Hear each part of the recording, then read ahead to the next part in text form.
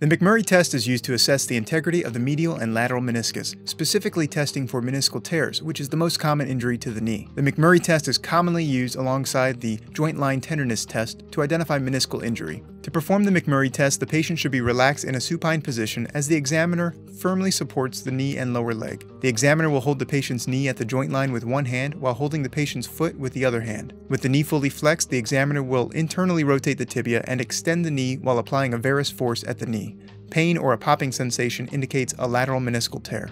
To test the medial meniscus, the examiner will place the knee into flexion once again, externally rotate the tibia, and extend the knee while applying a valgus force to the knee. Pain or a popping sensation indicates a medial meniscal tear. For more information about the McMurray test and other special tests, visit ptprogress.com/test.